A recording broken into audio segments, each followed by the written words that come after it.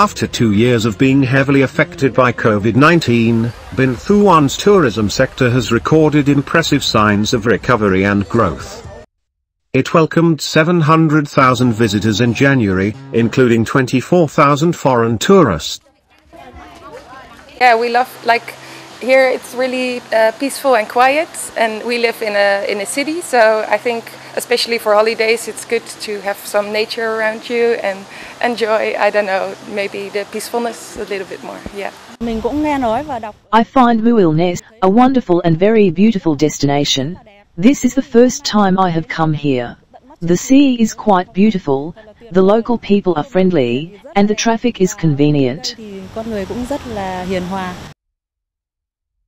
Since the pandemic, domestic and international tourists have tended to favor green and safe tourism. Aware of the trend, Binh Thuan's tourism sector has promoted its strength, beach resort tourism.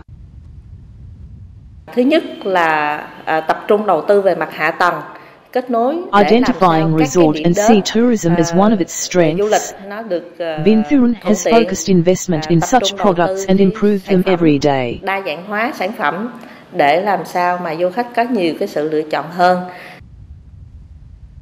Binh Thuan expects a strong and impressive recovery in its tourism sector this year, thanks to a range of activities, of which National Tourism Year is the biggest event. It not only promotes tourism links between localities, but is also an opportunity to attract domestic and international tourists, contributing to enhancing Binh Thuan's position on the tourism map.